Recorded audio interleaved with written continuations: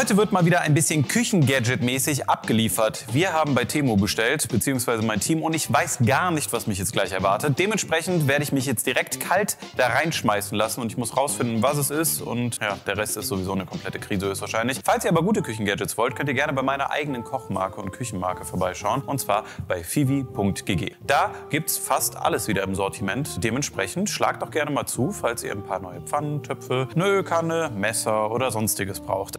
Ich bin wieder Lieferando, Lieferan, Lief, Lieferando mit, ja. Ich bin Katy Perry. Bis dann. wow. Lieferando, so geil. Ja, das äh, sieht aus wie etwas zum Spülen, würde ich äh, schwer vermuten. Also hier läuft auf jeden Fall was ab. Ich glaube aber, es könnte sogar noch was anderes sein. Ist es was zum Saubermachen? Ja. Ja, okay. Hier sind solche Silikonnoppen an der Seite dran und ich drehe hier was. Ich würde schwer vermuten, das ist so ein Rundlauf, man füllt das mit Wasser und dann tut man hier irgendwas rein, was da gewaschen wird. Beziehungsweise, weil so die Silikonnoppen etwas härter sind, würde ich schwer davon ausgehen, dass man nicht nur etwas wäscht, sondern vielleicht auch schält damit. Kann das sein? Nein. Man wäscht also ausschließlich etwas. Ja. Man wäscht aber kein Besteck, Nein. sondern ein Gemüse. Vielleicht, ja. Ähm, oder Fleisch. Du wäschst dein Fleisch? Hackfleisch, was ich immer. Waschfleisch. Waschfleisch, kommt her, meine Kinder. Ist zum Gemüsewaschen. Ja, es ist fast richtig, denn du hältst in den Händen deine erste eigene Obstwaschmaschine. Obstwaschen. Was? Was kostet das? Weißt du das? Ja. Willst du raten? 4 Euro. Kalt. 10, Kalt. 20. Wärmer. Holy shit, als ob. Für nur schlappe 23,97 Euro erhältst du diese einzigartige Obstwaschmaschine. Ich dachte, Timo ist günstig. Warum kann ich das nicht unter Wasser halten? Das ist doch eigentlich genau das Gleiche, oder? Aber 100 Pro von der, von der Gussform, von dem Plastik, wie das gepresst wird. Wir sind uns einig, dass es auf jeden Fall ein, Fußbad ist, ne? In der Ursprungsform. Bettpfanne. Zum Rumswirlen. Falls man groß muss. Wäscht man eine Mango? Man isst doch nur das Innere. Ja, hast auch wieder recht, da habe ich wohl nicht nachgedacht. Naja, das hätte ich jetzt nämlich auch gedacht, dass das hier. Nee, das passt. Ja, irgendwie habe ich nicht nachgedacht. Bananen wollte ich nicht kaufen, weil ich dachte, die Schale isst man nicht. Mango, klar. Das ist für mich ein Snacker. Ja, das ist es nicht. nicht nachgedacht. Das ist es wohl nicht, ne? Erdbeeren schwimmen, das wusste ich gar nicht. Dass Erdbeeren im Wasser schwimmen. Jedes Obst schwimmt, oder? Melone? Klar. Sicher? Wassermelone. Das macht überhaupt keinen Sinn mehr hier. So, ich mach das hier rein und dann. Ey, Wasserspaßbad. Das weiß ich nicht, das wird auch sehr schwergängig mittendrin. Also ich sag für so eine hohe Auflagemenge, an, ich muss jetzt hier ein paar Kilo durchhämmern, bei Kartoffeln oder so, könnte ich mir schon vorstellen, dass es ganz Also sagst du praktisch eher ist. Industrieküche? Ja, also man sieht es ja schon an der Form, dass das nichts schreit mehr Industrieküche als ein pinker Pissbehälter, den du unter das Bett stellst. Hättest auch blau haben können. Tut seinen Job, aber auf der anderen Seite sind die Dinger auch so. Ups, Entschuldigung, nicht ins Auge, Timo. Sorry. Auf der anderen Seite sind die schon so feste, dass hier wirklich sehr punktiert bei so einem sehr weichen Obst wie Erdbeeren da schon echt einige, guck mal hier, äh, ja, das schon ein bisschen abgehobelt wird. ist. Man sieht es hier unten in dem Wasserbecken. Ich habe jetzt wirklich so ein gutes Achtel der Erdbeere einfach abgerieben in das Wasser. Und ja, sie sind bestimmt sauber, aber irgendwie geil ist anders, oder? Guckt euch das mal an, das ist ja voll Krise. Also ich habe jetzt hier die ganzen Hände voll, das kann man jetzt bestimmt abwaschen, aber fühlen tue ich es nicht wirklich. Also ist bei mir eher eine 3 von 10, würde ich jetzt ehrlich sagen. Danke. Also, Generell erster Guess wäre, das ist das, was so Aliens benutzen, um dir eine Analsonde richtig in den Arsch zu rammen. Ja, ist richtig. Eine kleine Sprungfeder, die irgendwas drückt. Warte, das wird hier so eingerastet. Hier sind solche kleinen Schienen drin, ne? Also ich würde schwer schätzen, dass das rausnehmbar ist. Man tut irgendwas hier rein und dann tut man das, drückt man das wieder durch die Schienensysteme hier rein. Und dann, hier kann man glaube ich auch noch sowas einhaken. Und dann kann man drücken. Also man drückt sozusagen unten was raus. Ich glaube, das ist zum Zitronensaft rauspressen. Das ist falsch. Ich weiß, dass hier im Büro sehr intensiv mal über einen Wurstentdarmer gesprochen wurde. Den habe ich nicht bestellt. Ah, okay. Du meinst den Wurst-B-Darmer. Bedarmer. ja, nee, klar. ist es nicht. Also ich mache hier Teig rein und drücke dann da drauf. Und wenn ich rauslasse, dann macht er mir eine Waffel oder Pfannekuchen. Fast. So, so ein Pancake-Maker. Wenn du es umdrehst, an was erinnert dich die Form denn? So, Donut-Maker. Ja. Aber dann muss ich das ja immer zuhalten, wenn ich da jetzt Waffelteig reindrücke. Oder das du ist musst mega stressig. schnell abfeuern. Es geht los in 3, 2, 1.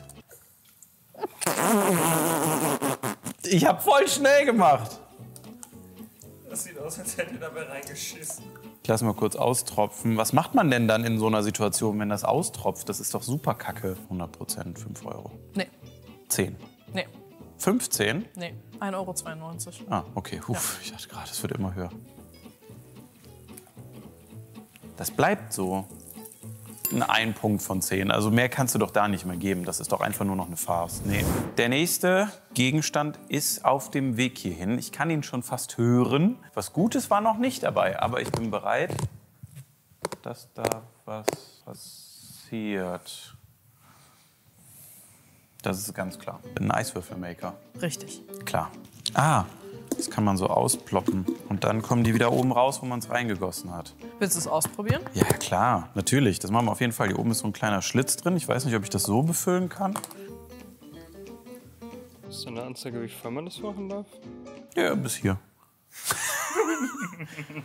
Das finde ich tatsächlich ganz cool, weil kannst du vorbereiten und dann äh, einfach so mitnehmen in so einem Picknickbeutelchen oder sonst irgendwie und dann einfach so aufploppen und dann so mitnehmen. Finde ich von daher jetzt gerade in der ersten Funktionsweise ganz cool. Ich lege es mal in TK, dann sehen wir uns gleich wieder und dann bewerten wir ganz vernünftig am Ende. Willst du raten, was es gekostet hat? Das hier, Ja. was es gekostet hat, Ja. klar, Fünfer. Richtig, 5,84 Euro. Das macht Sinn. Das würde ich genau dafür auch kaufen. Ich leg's kurz in den TK. Bis gleich. Es ist fertig. ich habe dieses Ding jetzt kühlen lassen. Okay, ich glaube, ich lasse es jetzt erstmal zu. Denn ich muss die jetzt ja befreien voneinander. Feste. Feste. Feste. Du schaffst das. Sollen wir da zu zweit dran ziehen? Ach, Ich habe einen festen Okay, so Stand. feste wie du kannst, okay? Ja. Drei, zwei. Warte, zahlst du Zahnzusatz, falls ich mir ausschlage?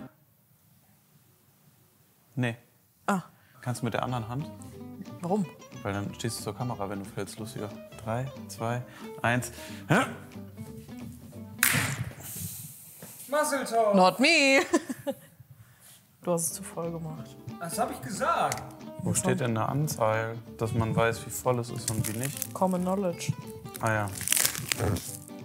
Bitte, mach, jetzt klappt's. Vielleicht hätten wir einfach nur das Ding vorher abmachen müssen. Ich dachte, wir können das für immer verwenden. Das geht. Ah! Eisbälle. Ich hasse das. Eins von zehn. Mein Zahn. Kommen wir zu Nummer vier. Das ist mein Rap und ich bin nicht wack. Seid ihr gut drauf? Ich auch. Das war kein Reim. Probier nicht zu schleimen. In den Kommis schreibt doch mal rein, was ist wirklich geil in der Küche. Denn dann finde ich deine Mutter. Ja. Das ist mein Rap und ich bin nicht wack, seid ihr gut drauf, ich auch.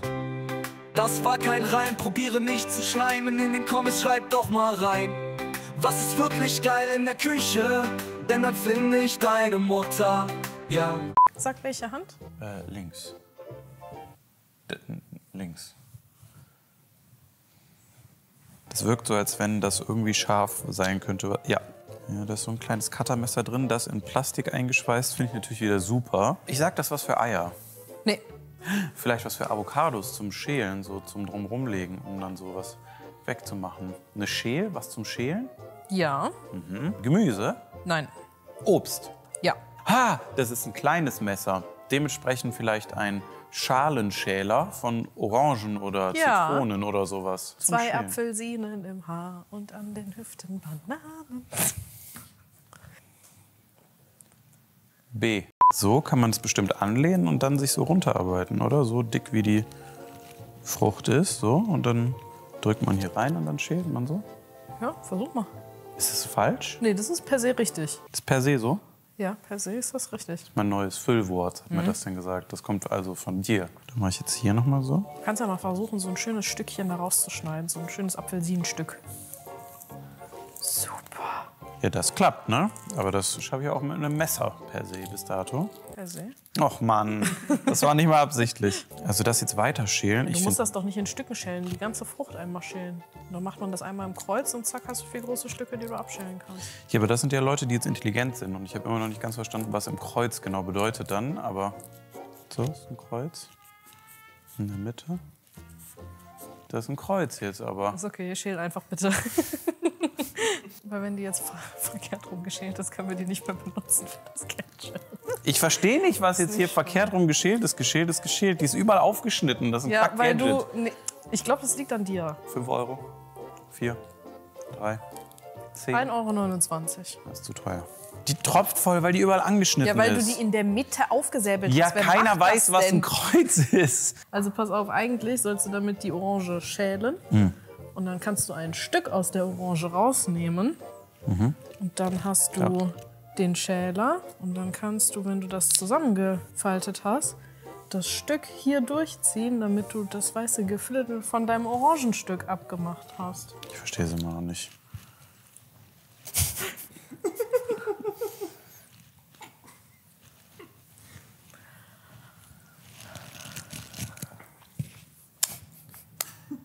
Ist eine 0 von 10, finde ich scheiße. Also es ist sehr satisfying mit einem Cuttermesser auf jeden Fall durch eine Orangenschale Das ist so geil. Ich will so viel damit aufschlitzen. Das hätte ich ja auch machen können. Jetzt mir nur sagen müssen, reiß das hier oben ab und dann ziehst du Freddy, im. Kreuz. Also, Was für im Kreuz? Ich kann das guck hier mal, doch und jetzt einfach hast du die abmachen. doch hier offen, die Orange. Ja. Und die hat ja schon vorgegebene Stücke. Und dann kannst du die Außenhaut abschälen. Ja, hast recht, das ist ein doofes Gadget. Ich geh jetzt wieder. Viel Spaß mit deinem Salat. Kurze Unterbrechung im Video, denn mein Partner Mio Mio und ich, wir haben euch noch was zu sagen. Und zwar ist das hier das Beste, was ihr euch antun könnt für zum Beispiel ein geiles Gamer-Wochenende. Das ist so schnell bei uns weg, die Cola Plus Orange Mio. Da wird selbst der Hund in der Pfanne verrückt. Von daher, wenn ihr auch verrückte Hunde in Pfannen haben wollt, dann probiert das doch gerne mal. Verlinkt mich und Mio auf Instagram, auf TikTok und gönnt euch eine Mio. Schreibt mir gerne mal eure Lieblingsworte. Viele von euch machen das schon da draußen. Aber probiert euch das heute mit. Und jetzt viel Spaß beim weiteren Video. Für dich. Die haben ja kleine Gesichter. Das ist einmal ein glückliches Gesicht und einmal ein etwas so. Hm, hä? Ach, da ist gerade ein Fussel hochgeflogen. Ich dachte, das dampft. Also, das ist Zickzack und das ist Wellig. Ich glaube, damit sticht man Nudeln aus. Nee, das ist falsch. Wellignudeln, Zickzacknudeln. Falsch. Was mit Teig? Nee, Nichts mit Teig. nee, Obst, nee, Gemüse, nee, Teig. Nee. Ah. Es ist eine sehr schmerzhafte Zahnbürste, einfach nur. Au. Ra, ra, ra. Zungenreiniger. Oh, Oh, la la la la la. So. Oh. Kann ich einen Tipp? Teig. Teig? Der Tipp ist Teig. Teig. Sag welche Hand. Äh, links. Ja, welches jetzt? Das. Okay, kriegst beide.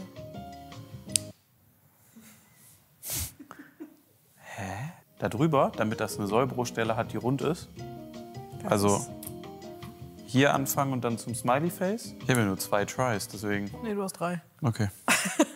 Das ist auch nicht richtig, was ich mache. Nee, fast. Es ist fast richtig. Was ist der erste Schritt, den ich jetzt hier machen muss? Das Ei pellen. Das Ei pellen, das mache ich noch händisch oder hiermit? Das machst du händisch. Ich hasse Eipellen. Das, das wäre ein Gadget. Vielleicht kannst du es ja mit deinem Donut-Former aus der Schale schießen.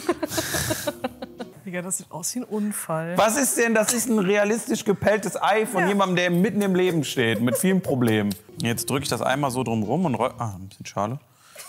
Jetzt rolle ich das einmal so drum rum und ende beim Smiley oder was macht man jetzt? Und dann ist es so cool aufgeteilt? Ja, Frederik, das ist dein neuer persönlicher Eierschneider. So würde ich das jetzt machen.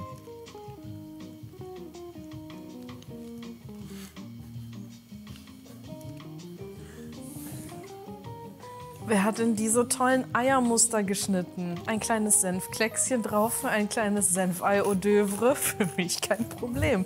Mit diesem tollen Eierschneider.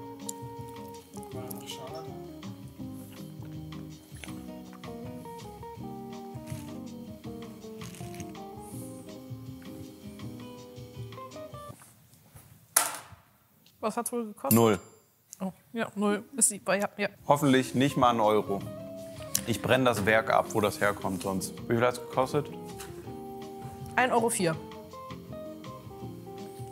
Book my flight. Du ein Ei? Oh, das, ich sehe das schon. Ich weiß schon genau, was das ist. Das ist ein Entsafter. Für? Sellerie. Nee. Obst. Ja, aber für ein ganz besonderes Obst. Orangen. Richtig. Keine Stückchen, kein gar nichts. Mit diesem Entsafter kann das alles dein Traum werden. Wenn man das nicht sichert und dann anmacht, dann sichert Äh. Gleich ist er kaputt. Ich habe doch nur einen Knopf gedrückt Gleich von ist er einem. kaputt. Einmal hier zur Hälfte. Das Ding hier raus. Würde ich so hier reinlegen. Passt genau. Hm.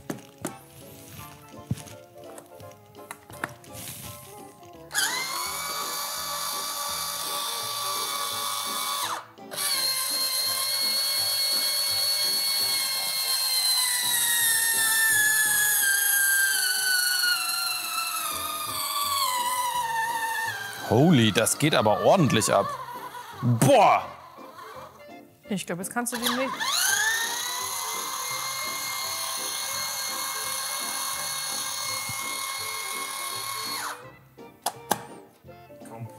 Aufmachen. Und es Die ist sogar dicht bislang. Es ist super dicht bislang. Also ich bin wirklich. Hä? Geil. Das ist ja wirklich komplett eskaliert. Ich mache einmal auf. Geil. Ah, guck mal, jetzt hat sich ausgeschaltet. Es hat sogar ein Ende vom Rhythmus. Aber es hat schon ein bisschen getropft. Ich mache jetzt mal auf. Ich finde, das ist äh, recht gering für so ein Glas. So Single-Use, okay, wenn man so einen kleinen Shot trinken will. Ich muss aber sagen, dass größere Entsafter auch den Vorteil haben, dass nicht nur ein größeres Glas darunter passt, sondern die meistens auch schon so Buckets daneben haben und du einfach Orange nach Orange nach Orange da reinpfeffern kannst. Also recht zügig. Teilweise auch wirklich so eine ganze mit Schale und die das dann einfach aussieben. Da ist die Technologie wirklich schon ultra crazy, kosten dann aber auch 600 Ocken oder so. Das ist ganz süß. Ich finde, man hört an dem Gewinde schon, dass das nicht lange gut geht. Auch diese Verschlüsse, die hier so hin und her knallen, machen mir ein bisschen Sorge. Dennoch für so lange, wie es hält, okay und es erfüllt die Funktion. Aber wirklich nicht so gut wie die heutigen Standards. Das kostet bestimmt 30 Euro oder sowas, ne? Nee, 20? Wärme. 21? 17,78 Euro. Dafür, dass das Risiko, dass meine Bude zu 50 Prozent in Flammen steht nach einem halben Jahr, einzugehen, weiß ich nicht. Da würde ich, glaube ich, lieber sparen und in einen vernünftigen Entsafter investieren. Aber wie gesagt, es erfüllt das, was es verspricht. Ich schätze mal, das ist nur Plastik, das kann in die Spülmaschine. Das hier ist auch Plastik, das kann in die Spülmaschine.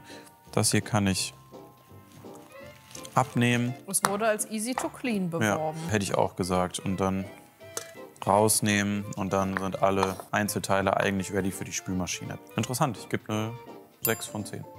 Cool. Die schmecken echt scheiße.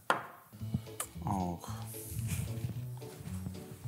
Man kann da was reintun, damit es steht. Ich würde sagen, man kann hiermit perfekt waagerecht ein Straußenei kochen. Nee, Naja, aber nah dran, oder? Auch nicht. Nee. Es ist auf jeden Fall was, was man aufgrund der leichten Elastizität da drum machen kann. Und es hat hier drunter so Stehfüßchen. Es ist aber an sich nicht sehr elastisch. Deswegen würde ich fast schon sagen, man kann es irgendwo drum machen, damit man was wo reinstellen kann. Wie zum Beispiel in kochendes Wasser. Oder Nee. auch nicht. Ansonsten Löcher, damit man was abschütten kann. Was kann man abschütten, was sehr klein ist? Das sind jetzt auch nicht die kleinsten Löcher, ist also kein feiner Sieb für irgendetwas. Kann ich einen Hint haben? Klar. Oh, ich dachte, das sind wieder Gurken. Hey, das sind meine vom Bohnensalat. Ja.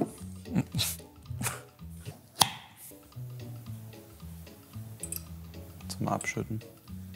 Das ist dein persönliches Glas- und Dosensieb. Kannst du über eine Dose spannen und perfekt abgegossene Bohnen haben. Oder Mais oder Kichererbsen. Drei, Nee, fünf, nee.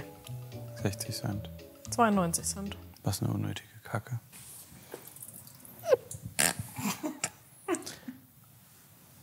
Null. Ja, aber es erfüllt seinen Zweck. Es gießt Sachen raus und die Bohne geht nicht flöten. Das ist super unnötig und der größte Quatsch, den ich je gesehen habe. Du musst Bohnensalat machen. Ich habe jetzt zu viel abgegossen. Ist nicht schlimm, ich mache jetzt gleich Bohnensalat. Ja. Oh, das kann Ein wehtun. Gadget Nummer 8. Oh, das kann weh. Holz? Also erstmal von dem letzten Gadget-Video, was wir gemacht haben. Es ist wieder übertrieben krankes Plastik, einfach eingespannt in dem billigsten Holz. Das ist wirklich so krass Splitter. Guck mal hier. Guck mal. Guck mal her. Siehst du das? 2 Cent Herstellungskosten ist das hier. Für wie viel kostet das? Willst du raten? Bestimmt 2, 3 Euro oder sowas. Ja, 3,84 Euro. Das asozial. Er ist ein Hobel, also um Sachen zu hobeln. So. Ja, aber für eine ganz bestimmte Sache. Ja, so ein Wellenschnitt, so ein, so ein äh, Gurken, Nee, Käse. nee, Wellenkartoffeln zu machen. nee. Das ist ein ganz bestimmtes Gadget für einen ganz bestimmten Use Case.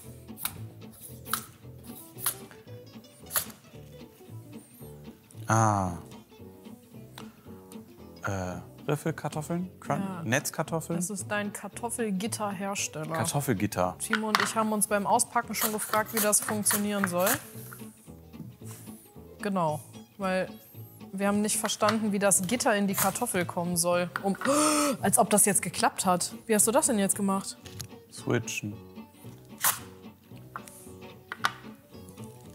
Verstehe irgendwie die Physik dahinter noch nicht. Aber als Ofenkartoffel müsste es doch mit bisschen Öl drüber im Ofen eigentlich ganz geil sein, oder? Ja, funktionieren tut das so. Wild ist es auch. Nur das Problem ist, diesen Aufsatz hast du bei allen anderen Schälern, die du sonst irgendwo hast, per se auch mit dabei. Echt? Ja, also denkt halt so sicherlich keiner drüber nach. Ansonsten ganz bestimmt auch bei einem, hier, wie heißen sie?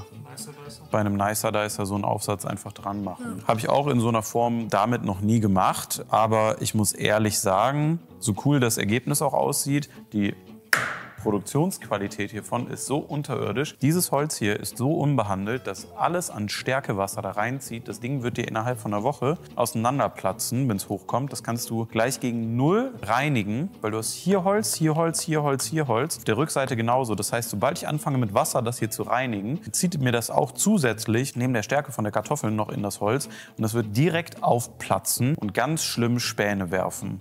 Eins von 10, sag, sag ich ehrlich. Das ist zu trashy.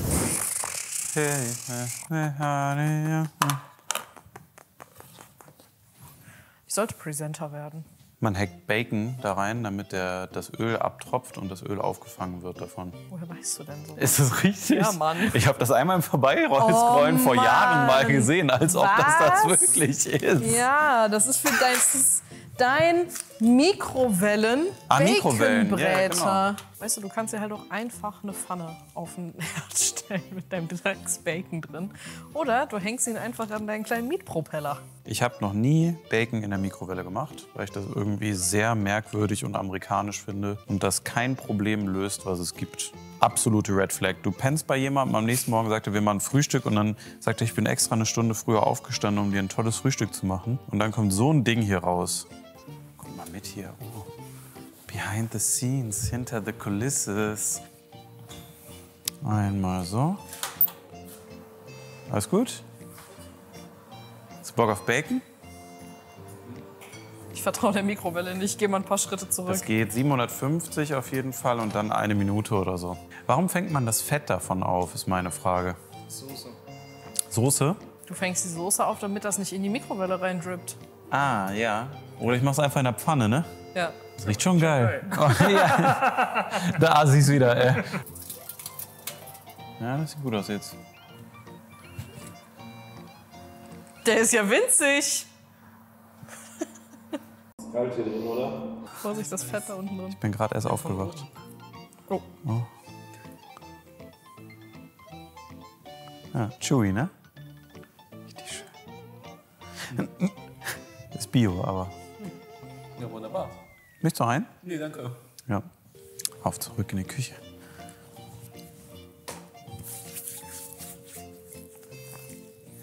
Ja, so wie Julian das gemacht hat, äh, macht schon am meisten Sinn. Ist nicht so fettig direkt, wenn man es jetzt anpackt, aber Ist gesund. Der Bacon-Entfetter vielleicht einfach. was kostet das? Was tippst du denn? 4, 5 Euro. 4,89 Euro. Nur 4 von 10. Vielleicht hat da jemand Bock drauf, aus dem Baconfett noch was zu braten, aber eigentlich 3 von 10, so for real. Man kriegt es schlecht ab. Zu putzen, die Vollkrise mit dem Loch hier in der Mitte, was noch irgendwie gefühlt nach halb unten durchgeht. 2 von 10. Das war's zumindest jetzt mal von unseren Temo-Gadgets in der ersten Runde. Wenn ihr noch mehr sehen wollt, lasst auf jeden Fall einen Daumen nach oben da und ein Like und schreibt uns mal in die Kommentare, was wir noch von Temo oder anderen Gadget-Webseiten testen sollen. Ah. Ah, ah. Das Video ist vorbei. Ist aber nicht schlimm. Like mein Scheiß und lass ein Abo da. Guck mehr Videos, guck, guck mehr Videos. Mir fällt nichts mehr ein. Tschüss.